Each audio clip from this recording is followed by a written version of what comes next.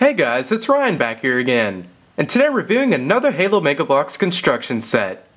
97516 Containment Armory. This set is a Target exclusive. It's composed of 53 pieces, and the retail price is $9.99.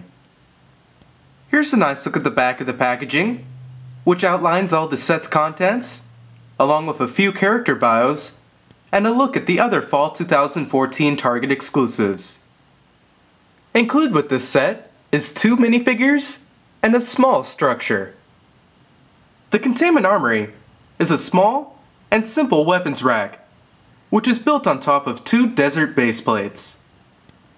There's also a few accent details, such as a small construction cone, a barrel off to the right side, which is used to store an axe, as well as an extra frag grenade, along with a sandbag wall on top where you can perch the minifigures. Mounted onto the weapons rack is a variety of tools and weapons, including a frag grenade, a new designed reach shotgun, a pickaxe, and even a shovel. And holding everything together is two exposed support beams. The first of the two minifigures is an Operator Zombie Spartan from the Infection game type. The armor itself is molded in a green glow-in-the-dark plastic with silver and black for detailing, and gold for the visor. After soaking up some rays, the glow-in-the-dark effect actually works pretty well.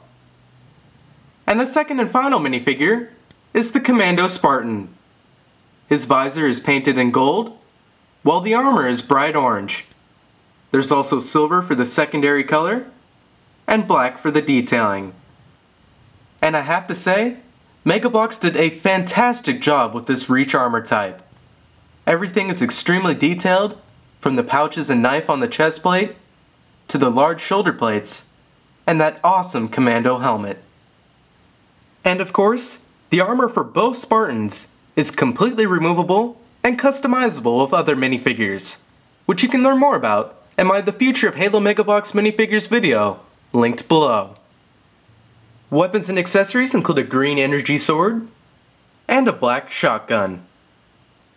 Overall, for about $10, the set is mainly about the minifigures, which are really well done for that matter, and the armory itself, although not that much, still makes for a great display piece for your collection, and you can even use it for storage for those extra accessories.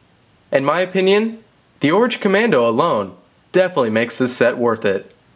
I hope you all enjoyed this review, and I look forward to seeing you in the next one. Subscribe for hundreds of collectible reviews, including Halo and Star Wars, and follow me on Facebook and Twitter for up-to-date channel news.